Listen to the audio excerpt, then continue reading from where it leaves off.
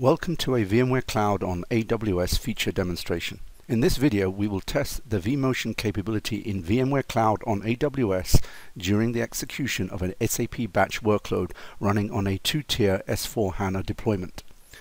As SAP has not certified their applications on VMware Cloud on AWS, any SAP deployments in this environment should be for non-production use only.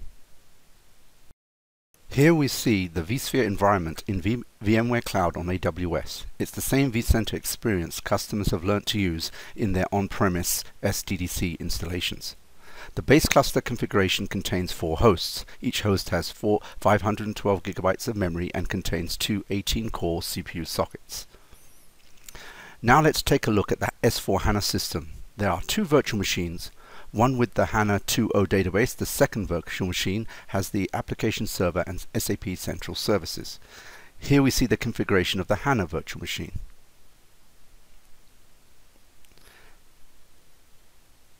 Now we see the details of the application server virtual machine. We now proceed to the Unix console of the HANA virtual machine. What we see here is a SAP HANA Studio an integrated development environment that enables technical users to manage SAP HANA. Expanding the menu on the left shows the S/4HANA schema. On the right, we can see that the SAP HANA database is up and running.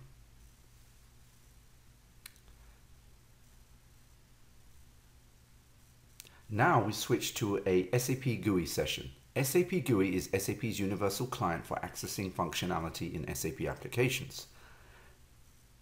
In the GUI, we start a SAP batch job.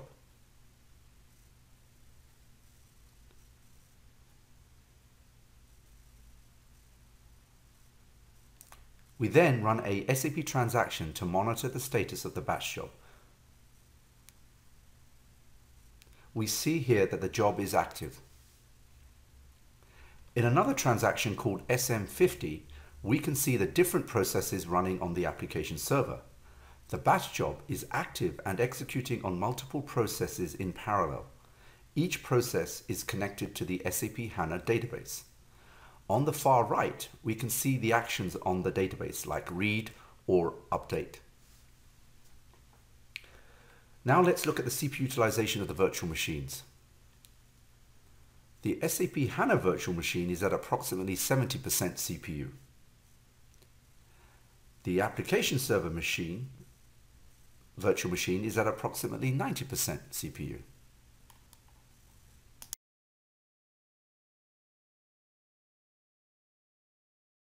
We will now manually start a live migration of the SAP HANA database virtual machine.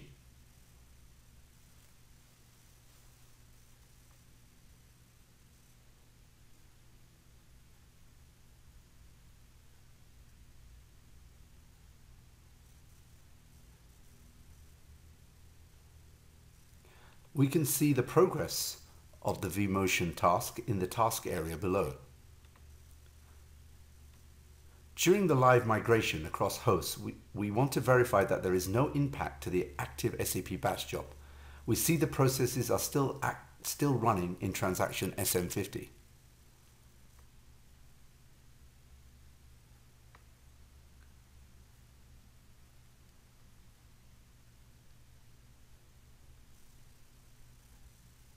As an extra check, we also confirm that the status of the batch job is still active in transaction SM37. Here we see that it's still active. We go back and we continue to monitor the processes until completion of the vMotion task.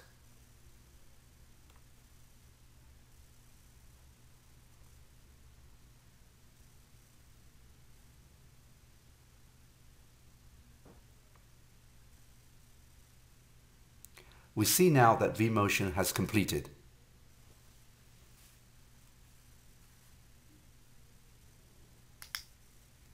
We now confirm in vCenter that the SAP HANA virtual machine is running on a different ESXi host. We also check the utilization of the application server virtual machine. It's still high as expected, as it continues to process the batch job. We also conduct a final check of the SAP application server work processes back in transaction SM50 to show they are still active after the vMotion event. The successful migration has not impacted the running of the batch job and there have been no disconnections between the work processes and the SAP HANA database. In conclusion, this demo has successfully tested the vSphere vMotion feature with a S/4HANA system on v VMware Cloud on AWS. Customers can continue to experience the same agility in the cloud as their on-premise SDDC and can leverage their existing VMware SDDC tools and skill sets when deploying SAP systems on VMware Cloud on AWS. This has been part of a series of tests and experiments that VMware is conducting to demonstrate functionality of VMware Cloud on AWS with SAP NetWeaver and HANA-based applications.